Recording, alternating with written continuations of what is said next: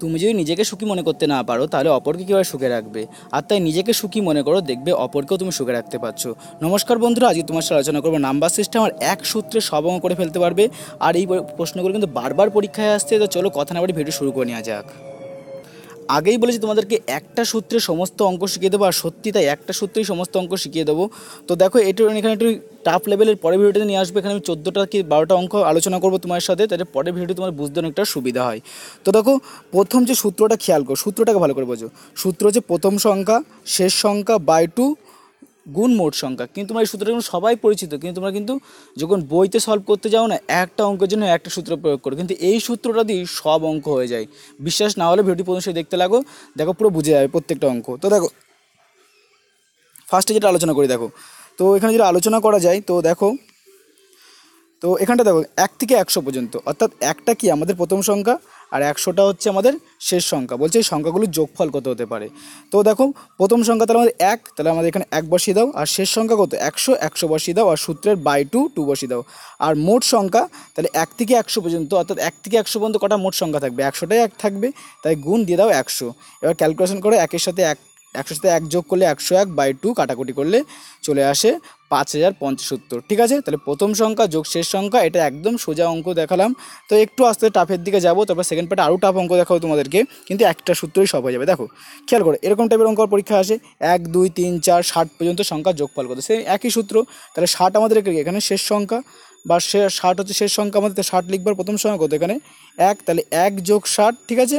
আর আর মোট সংখ্যা কত? ষাটটাই এক থেকে ষাট মানে কি? ষাটটাই মোট সংখ্যা, তাহলে বাইশ গুণ ষাট বাই টু। এবার কাটাকুটি করলে তোমার ক্যালকুলেশন করলে পেয়ে যাবে নয়শো তিরিশ উত্তর। সেম একই টাইপের অঙ্ক দুটো জাস্ট বোঝার সুবিধা তোমার দিয়েছি।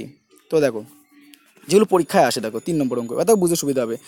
ষাট পর্যন্ত জোর সংখ্যাগুলো যোগফল কত? দেখো, ষাটকে প্রথমে ভেঙে নেবে। ষাটের মধ্যে তিরিশটা আছে জোর সংখ্যা, আর তিরিশটা আছে কি সংখ্যা? বিজোর সংখ্যা। ঠিক আছে, এরকম করে ভেঙে নেবে। যদি উনষাটটা দেয়, তাহলে সেটাকে উনষাটটাকে ষাট ধরে নেবে। উনষাট বলে এক বেশি ধরে ষাট করে নেবে, ঠিক আছে? কারণ এটা নিয়ম, আর ষাটটা বলেছে সেগুলো ষাটটাকে ভাঙতে তোমার কোনো অসুবিধা নেই। তিরিশ তিরিশ করে আর্ধেক আর্ধেক করে ভেঙে নিতে হয়, ঠিক আছে?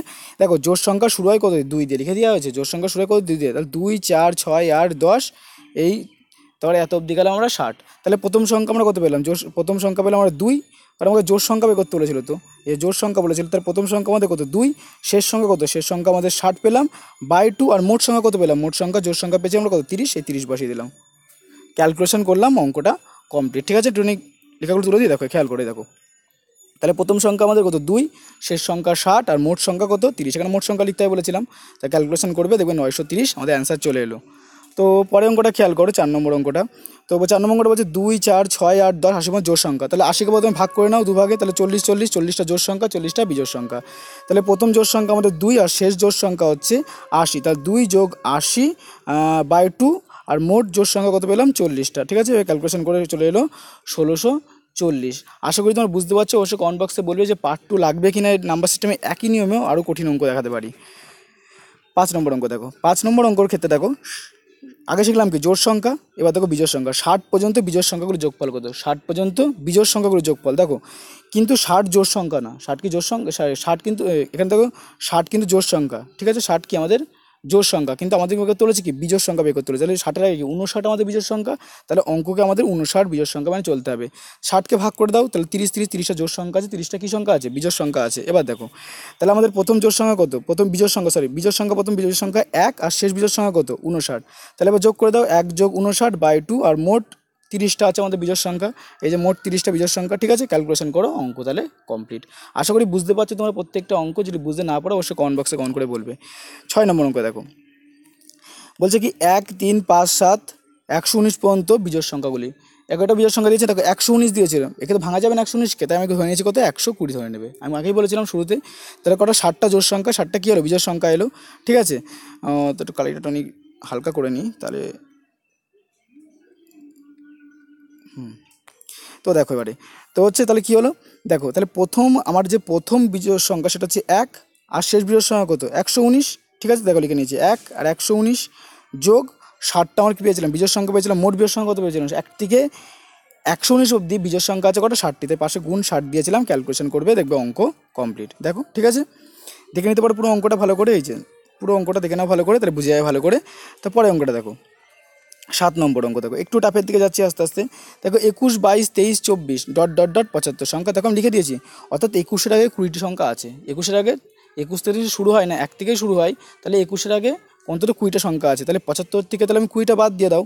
তাহলে কটা সংখ্যা থাকে? পঞ্চান্নটা সংখ্যা থাকে লিখে দিয়েছে, দেখো একুশের থেকে পঁচাত্তর পর্যন্ত সংখ্যায় তাহলে কটা? পঞ্চান্নটা। অর্থাৎ একুশ থেকে পঞ্চান্ন পর্যন্ত সংখ্যা আছে কটা? পঞ্চান্নটা আছে। ঠিক আছে, তাহলে মোট সংখ্যা কতগুলো পেলাম? তাহলে আমরা পঞ্চান্নটার একুশ থেকে পঁচাত্তরের মধ্যে মোট সংখ্যা পেলাম আমরা কটা? পঞ্চান্নটা পেলাম। দেখো, পঞ্চান্নটা মোট সংখ্যা লিখে দেওয়া হয়েছে। আর দেখো শেষ শেষ সংখ্যা কত ছিল? পঁচাত্তর। পঁচাত্তর লিখে দেওয়া হয়েছে। আর হচ্ছে কি প্রথম সংখ্যা ছিল কত? একুশ। একুশ লিখে দেওয়া হয়েছে। বাই টু ক্যালকুলেশন করা হয়েছে। অঙ্ক কমপ্লিট। দেখে নাও ভালো করে পুরো অঙ্কটা। আমি একটু ওয়েট করছি।